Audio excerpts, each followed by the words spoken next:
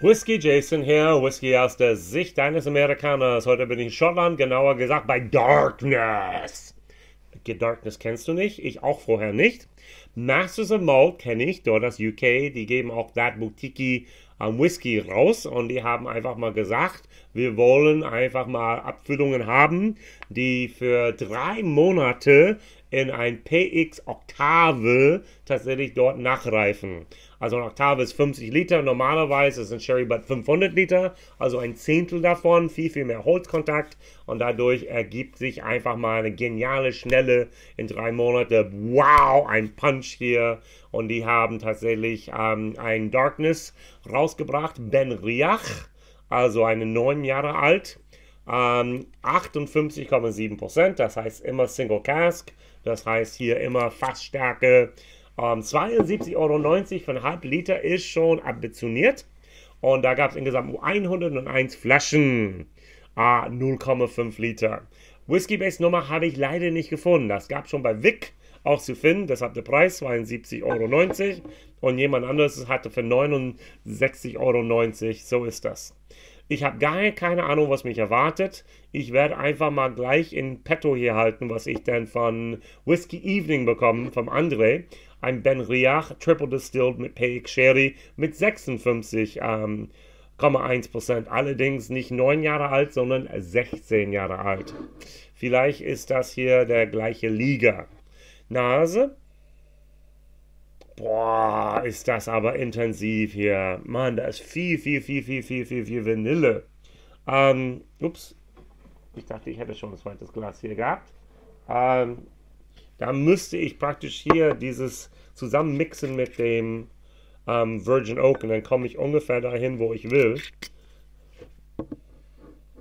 Oh, die sind nicht so weit auseinander. Doch, die sind dicht beieinander. Wow. Also die Flasche liegt hier 0,7 bei, das war 98 Triple Distill PX. Also ich würde sagen 140 Euro. Hier sind wir bei die Hälfte davon, allerdings statt 07, 05 da drin und neun Jahre alt, Ben Riach. Also Ben Riach ist für mich der Distillerie, der so irgendwie, ich musste der einfach ein ganz normaler Ex-Bourbon da haben, aber der, die Ex haben wahnsinnig viel mit ähm, Fassfinishes experimentiert, die haben wahnsinnig viel damit experimentiert, auch mit Torf und so weiter, um ihre Grunddistillat ein bisschen mehr Umf zu geben. Wahrscheinlich nicht ohne Grund. Nun, ähm, Billy Walker hat damals Ben Riach aufgekauft. Später dann kam tatsächlich hier Glenn Dronach dazu. Ich glaube umgekehrt. Glenn Dronach war zuerst und danach war Ben Riach. Und dann haben sie Glenn Glassau dazu genommen. Die drei haben sie verkauft. Und dann hat Billy Walker einfach gesagt, ich kann nicht so in meine ähm, Rentendasein machen. Und er hat dann da Glenn Alachi gekauft wegen seiner Einzigartigkeit. Ähm, zeitgegeben Glas. Sehr, sehr schokoladige Rosinen halte ich mit Vanille, aber nicht etwas, was überladen ist. Genauso allerdings weicher, runder. Ein bisschen eleganter. So, Darkness. Mit Ausrufezeichen bitte. Ben Riach, neun Jahre alt.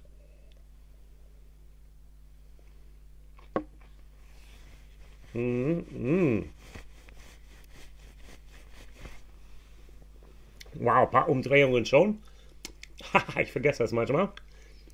Ähm, ich vergesse das nicht. Ich vergesse, dass manche Whiskys, weil die jünger sind, boom, also die drucken, die haben Pfeffer, die sind schieben an einfach. Wenn man gewöhnt ist, wenn er 16 Jahre alt Fassstärke im Mund zu haben, denkt man, lecker, mm, und dann kommt man zu einer 9 Jahre und denkt, okay, wow, mm.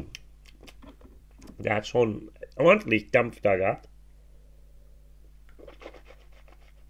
Hm. Aber der Geschmack, der blieb was schön.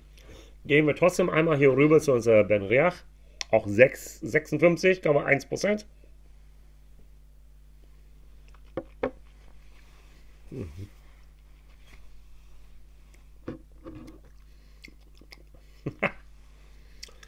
Ähm, verglichen hiermit ist das eine alte, schöne, delikate Dame die allerdings ähm, ihr Leben lang Rosinen gegessen hatte.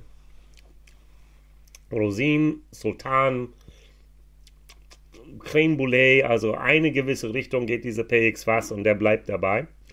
Ähm, wow, da ist kaum eigene Momente drin. Wasser will ich hier mal ein bisschen arbeiten, schauen, ob der Darkness für mich hier sich entfalten kann oder ob er dunkel im Geheimnis bleibt hier für mich. Ich muss schon sagen, meine Geschmacksnerven hatte, haben darunter gerade vorhin ein bisschen gelitten. Also, als ich das hier rüber ging und das schmeckte, machte ich nichts. Also kein Alkohol mehr im Moment. Der hat, der hat gute Arbeit geleistet. Hier alles and to blow out my taste buds.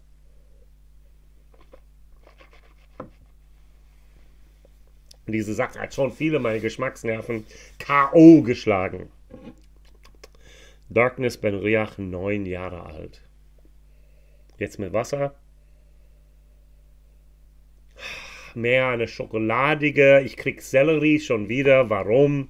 Also ich weiß noch, Pat Hot hat, mich bei irgendeinem Whisky-Video habe ich Sellerie mit Teppich und hat gesagt, seine Geschmacksnoten werden wahnsinnig komisch. Meine übertreffen sein beim Weiten zum Glück oder leider.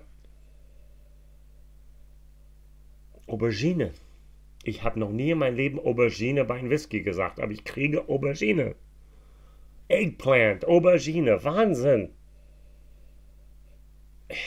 Wahnsinn. Also. Hm.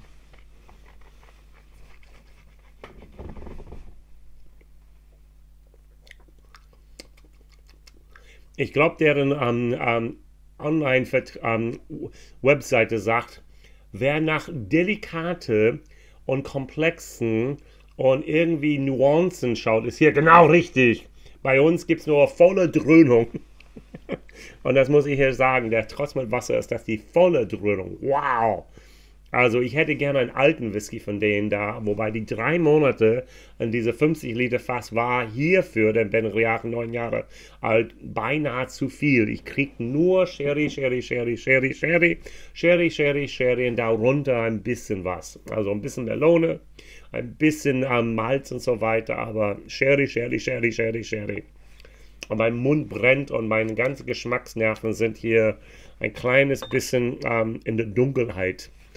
K.O. geschlagen. Aber ich will mehr. Denn der schmeckt echt richtig cool.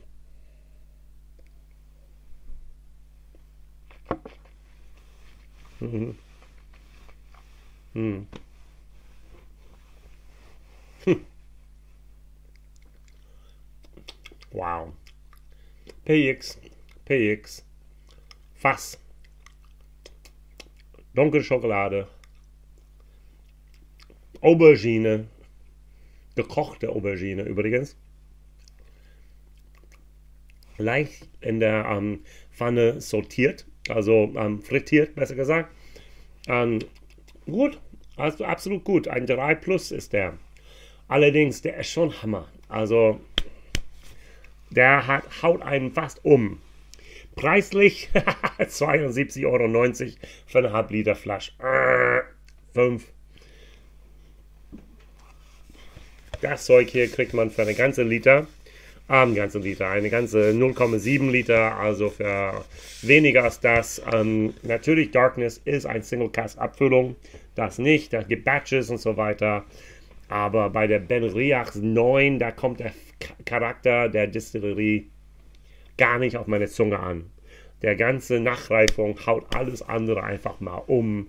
Und das ist schon fast schade, beziehungsweise einfach ein bisschen zu viel. Ja? So, meine Frage des Tages ist, wer hat überhaupt irgendetwas vom Masters of Malt schon im Glas gehabt? Ob eine eigene Abfüllung, That Boutique Whiskey Company oder auch jetzt hier Darkness?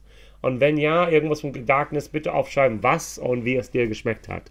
Ich muss schon sagen, der hat einen Pass K.O. geschlagen, der ist schon richtig heftig wer das will, ist hier richtig, aber mh, mm, ich merke jetzt, ich bin ein bisschen der Vertreter, ähm, bloß nicht mit einem kämpfen. Und das ist das, was er will. Mit einem kämpfen und einem K.O. schlagen und einen in der Dunkelheit zu schicken. So, Whiskey Jason hier, Whisky aus der Sicht eines Amerikaners. Liken, abonnieren, auf meine Sample-Liste schauen unten. Und auch dann da könnt ihr gerne einfach mal anhauen, whiskyjason at gmail.com. Und wir sehen uns jeden Tag um 17.30 Uhr, beziehungsweise dann dort um am Sonntag zum Whisky-Livestream um 21 Uhr. Bis dahin, ciao.